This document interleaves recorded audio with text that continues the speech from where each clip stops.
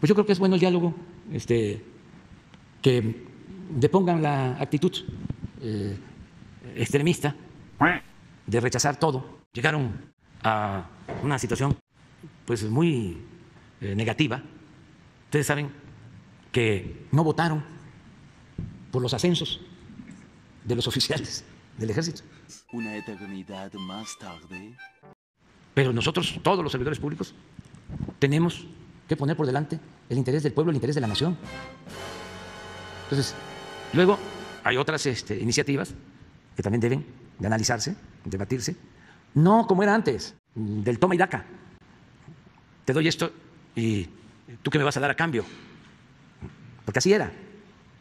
Firmaban hasta acuerdos. Pues eso ya no. Ningún acuerdo de ese tipo.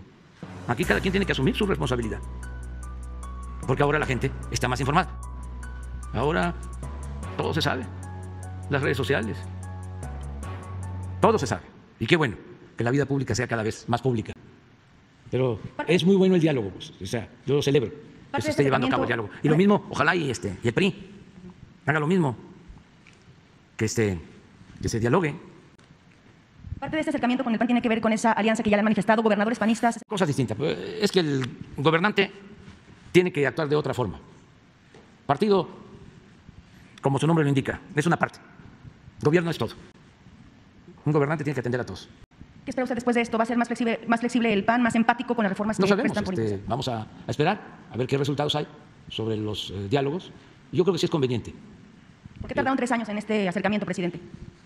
Bueno, eh, vale más que tarde que nunca.